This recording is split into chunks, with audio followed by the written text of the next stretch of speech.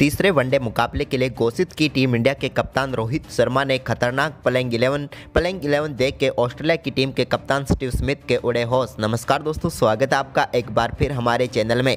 भारत और ऑस्ट्रेलिया के बीच तीसरा वनडे मुकाबला चेन्नई के चेपॉक स्टेडियम में खेला जाना है। इस मुकाबले के लिए टीम इंडिया के कप्तान रोहित शर्मा ने अपनी प्लेइंग इलेवन का ऐलान कर दिया है, जहाँ पर टीम इंडिया में कई बड़े बदलाव किए हैं। तो दोस्तों, इस वीडियो में हम आपको बताएँगे कि आखिरकार आखिरी मुकाबले को जीतने के लिए रोहित ने कौन कौन से खिलाड़ियों को मौका दिया है। लेकिन दोस्तों, उससे पहले अगर आपने अभी तक हमारे इस चैनल को सब्सक्राइब नहीं किया तो चैनल को सब्सक्राइब करके बेल आइकन दबा लें और साथ ही आप भी चाहते हैं कि टीम इंडिया आखिरी मुकाबले को जीतकर सीरीज़ को अपने नाम करे तो इस वीडियो को लाइक ज़रूर कर दें। तो चले दोस्तों, जानते हैं कि अब तक भारतीय टीम का परफॉर्मेंस किस प्रकार का रहा है। तो दोस्तों, अब तक दोनों मुकाबलों की बात करें तो टीम इंडिया के बल्लेबाजों ने काफ़ी निराश किया है। क्योंकि दोनों मुकाबलों में भारतीय टीम के बल्लेबाजों के परफॉर्मेंस को देखा जाए तो बेहद ही खराब परफॉर्मेंस नज़र आता है। क्योंकि जहाँ पहले मुकाबले में भारतीय टीम के सामने बड़ा लक्ष्य नहीं था, लेकिन फिर भी भारतीय टीम उस लक्ष्य तक बड़ी मुश्किल से पहुँची थी। जबकि दूसरे मुकाबले में तो कोई भी बल्लेबाज ऐसा नहीं रहा जिसे कह सकते हैं कि इन्होंने शानदार परफॉर्मेंस किया, जिसके चलते टीम इंडिया को दूसरे मुकाबले में तो हार का सामना ही करना पड़ा। वहीं पर दोस्तों, गेंदबाजों की बात की जाए तो अब दूसरे मुकाबले में तो गेंदबाजी ज़्यादा खास रही नहीं थी, क्योंकि बल्लेबाजी इतनी खराब हुई थी कि गेंदबाजों के लिए कुछ भी नहीं बचा था। लेकिन यहाँ पर पहले वनडे मुकाबले में भारतीय गेंदबाजों की गेंदबाजी अच्छी रही थी। ऐसे में यहाँ पर तीसरा मुकाबला अगर टीम इंडिया को जीतना है तो भारतीय टीम के बल्लेबाजों को रन ज़रूर बनाना होगा।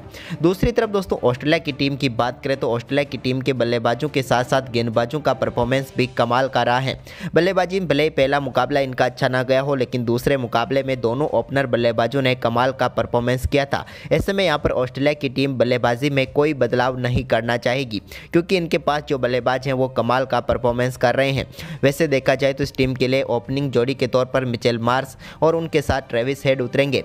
तो नंबर तीन पर इस टीम की तरफ़ से स्टीव स्मिथ खेलते हुए नज़र आएँगे। तो नंबर चार पर लाबू सेन उतरेंगे। जबकि दोस्तों नंबर पाँच पर इस टीम की तरफ़ से विकेट कीपर बल्लेबाज एलेक्स कैरी खेलते हुए नज़र आएँगे तो नंबर छः पर कैमरून ग्रीन उतरेंगे। जबकि दोस्तों, नंबर सात की बात करें तो यहाँ पर मार्कुस टोनिस उतरने वाले हैं तो नंबर आठ पर सीन एबट उतरेंगे।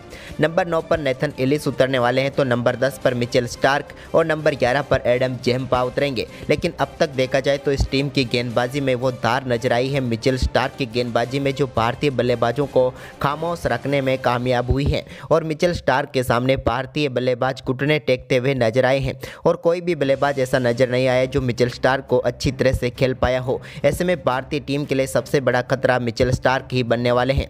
दूसरी तरफ़ अब हम बात करते हैं टीम इंडिया की। तो दोस्तों, भारतीय टीम की भले बल्लेबाजी खराब हुई हो, लेकिन बल्लेबाजी में ज़्यादा बदलावों की संभावना नहीं है। ऐसे में दोस्तों, भारतीय टीम की ओपनिंग जोड़ी के तौर पर रोहित शर्मा और शुभमन गिल पारी की शुरुआत करते हुए नज़र आएँगे। पिछला मुकाबला तो दोनों का बेहद ही खराब गया था। ऐसे में पर इस मुकाबले में इन्हें अच्छा परफॉर्मेंस करना होगा। इसके बाद दोस्तों नंबर तीन की हम बात करें तो यहाँ पर विराट कोहली खेलते हुए नज़र आएँगे। विराट कोहली के परफॉर्मेंस की बात करें तो ये सीरीज़ अब तक उनके लिए भी ज़्यादा खास नहीं रही है। तो तीसरा मुकाबला इनके लिए भी बेहद ही महत्वपूर्ण हो जाता है। जबकि दोस्तों नंबर चार पर सूर्य कुमार यादव उतरेंगे जो कि अब तक दो मुकाबलों में सिर्फ़ दो ही गेंदें खेल पाए हैं। मिचेल स्टार्क इनके ऊपर कहर बनकर टूट रहे हैं और सूर्य कुमार यादव को पिच पर टिकने का मौका नहीं मिल रहा है। ऐसे में यहाँ पर इन्हें अच्छा परफॉर्मेंस करके दिखाना होगा। तो वहीं पर नंबर पाँच पर के एल राहुल उतरेंगे।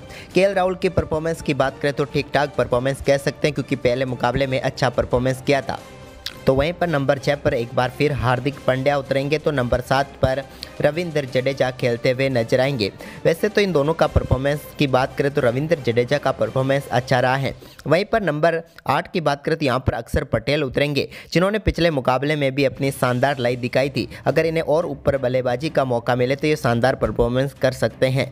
वहीं पर दोस्तों, अब हम बात करते हैं नंबर नौ की। तो यहाँ पर कुलदीप यादव को मौका मिलेगा, जबकि नंबर दस पर उमरान मलिक खेलते हुए नज़र आएँगे। वहीं पर नंबर ग्यारह पर मोहम्मद सिराज को मौका मिलेगा। तो दोस्तों, क्या लगता है इस प्लेइंग इलेवन के साथ टीम इंडिया मुकाबला जीत पाएगी? हमें अपनी राय कमेंट में ज़रूर दें। धन्यवाद।